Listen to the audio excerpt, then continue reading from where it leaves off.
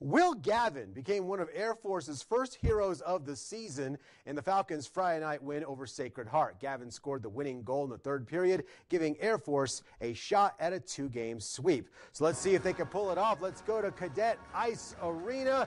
Sacred Heart comes out swinging, though. This goal will give the Pioneers a 1-0 lead after the first period. Second period now, Brian Adams He's going to fire, and Blake Bride, oh, governor, redirects it in. We are tied at one, but that is as good as things would get for the Falcons. A Sacred Heart puts two more on the board and goes on to win this one by a score of three to one.